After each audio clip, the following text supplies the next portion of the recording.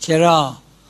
اگر این شخص زمان امام صادق علیه السلام بود و میگم من خودم خمسم میدم و نمیدم به امام صادق صحیح بود؟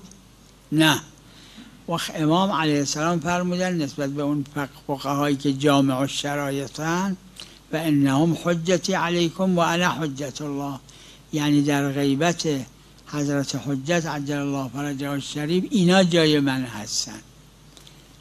قاعدش اینه که همینجور که از خود امام اگه ظاهر بودن علیه السلام بنا بود اجازه بگیره حالا از فقیه جامعه شرایط یا بش بده یا ازش اجازه بگیره. بله.